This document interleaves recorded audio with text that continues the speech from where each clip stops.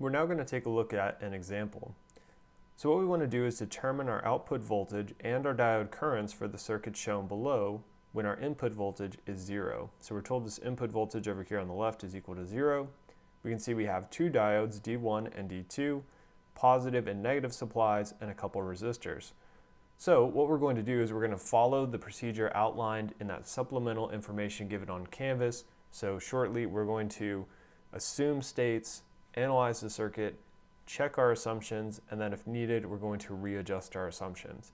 So if I were teaching this in class, what I like to do is have students give me their assumptions and then work the circuit that way.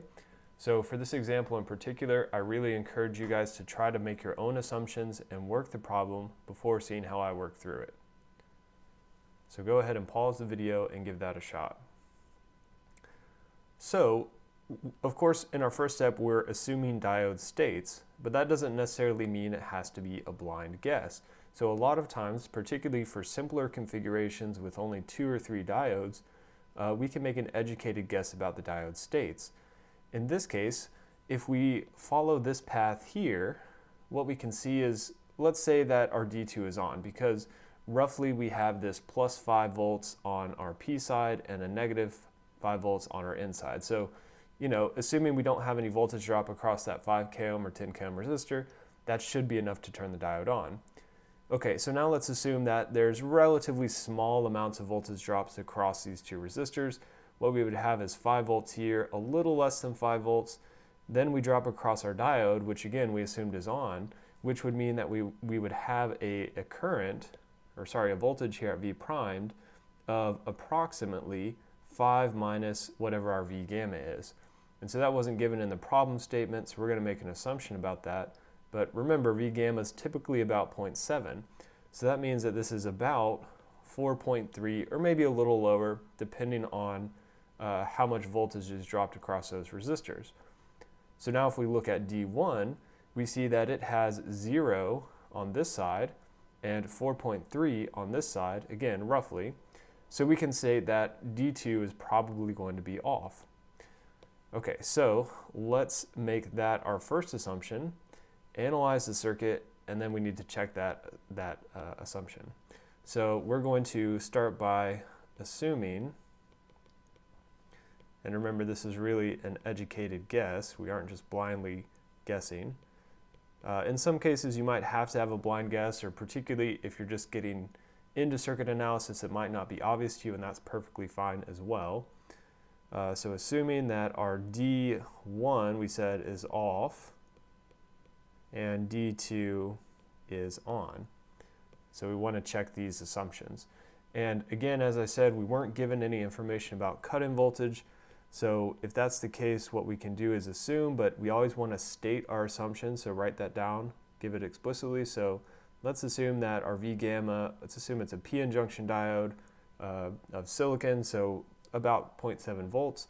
And let's assume that that, that resistance R sub F is zero. So we're kind of assuming an ideal case, uh, not, not accounting for internal resistance there. All right, so the first thing we want to do then, before analyzing our circuit, is redraw it based on our assumptions. So let me just paste our circuit here. And because we're assuming D1 is off, we're going to replace that with an open circuit. So we have something that looks like this. And because our D2 is on, we're going to replace that with a voltage source. And so our voltage source is going to be positive on this side and negative on this side. And that value is going to be V gamma. And so one thing I didn't do here that we can do that might be helpful is we can define some voltages and currents. So of course our diode voltage is defined as positive on our P side for a normal PN junction diode. Current is in the direction of the arrow, so I D1. Same thing over here for our diode D2, we have VD2 and ID2. So we have something that looks like that. So we can carry those down to here because we're going to need to evaluate some of these when we're checking our assumptions. So of course we can see this ID1 should be zero. Our VD1 we're going to have to check when we check our assumptions. Our VD2 is V gamma and we're going to need to evaluate our ID2 to check our assumption for diode D2. Uh, we can also define some other currents to make things a little easier. So we can define, let's call this IR1, so current in our resistor 1, and let's call this current IR2. And so let me come back here and put this V prime on this middle part as well. Okay, so this circuit now, of course, is a lot easier to analyze because we see there's no current. So this ID1 equals zero, which basically means we only have one path for current flow that looks like this. So what we can do is just a KVL equation. So we can say IR1 is equal to ID2 is equal to IR2. Okay, and so what that's equal to is going to be from KVL and Ohm's law, V plus minus V gamma minus V minus divided by 10K plus 5K. Plugging in the values, we have 5 minus 0.7 minus negative 5 divided by 15 k ohms.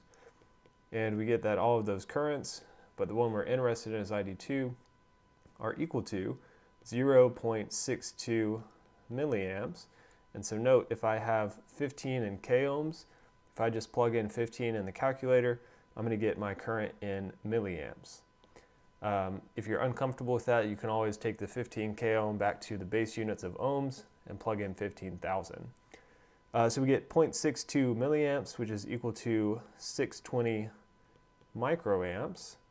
So now we can check our assumption for diode D2. We see that for diode D2, ID2 is greater than zero. So that means our D2 assumption is good. So D2 assumption correct.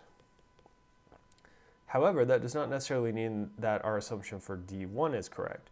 So we still need to check our D1 assumption.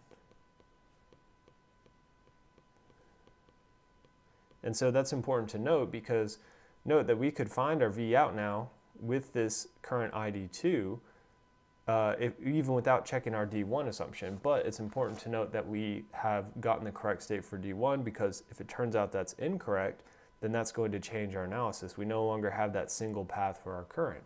So let's go ahead and check our, our assumption for D1. And we do that by checking our diode voltage because we assumed it was off. So check our diode voltage. So from KVL,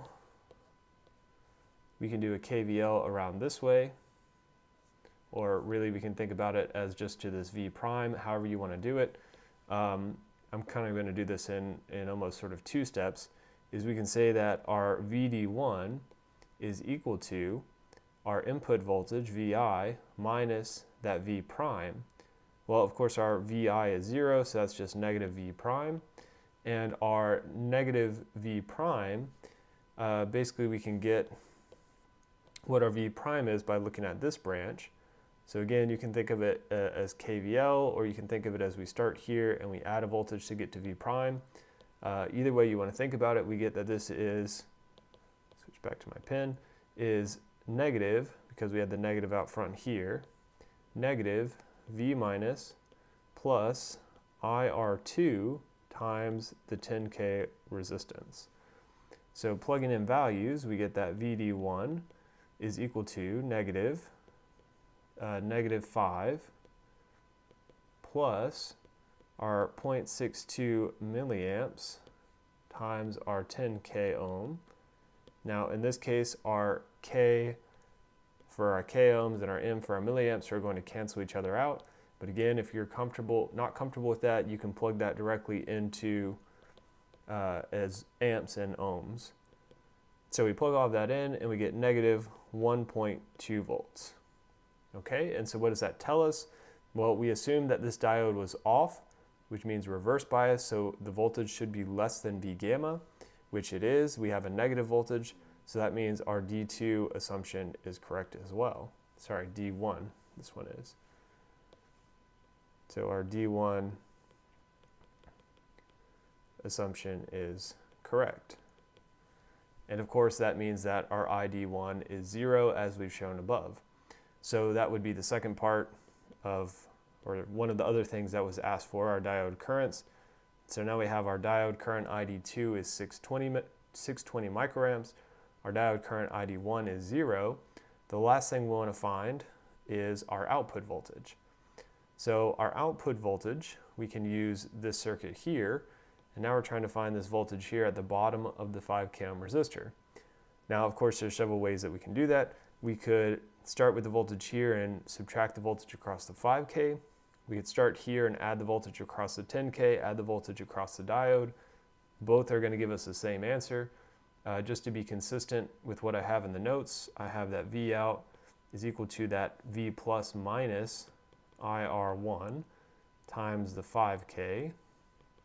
And plugging in values, we have 5 volts minus our 0.62 milliamps times our 5K. And so what we get for that is that our V out is equal to 1.9 volts. And that's the end of that example. Um, what we're going to do in the next video though is we're going to take a look at what happens if we make the wrong assumption because it's probably not very useful to just see me go through this and, and see me say, oh yeah, that assumption's good, that assumption's good, but how are you able to tell when you make a wrong assumption? So that's what we're going to look at in the next video.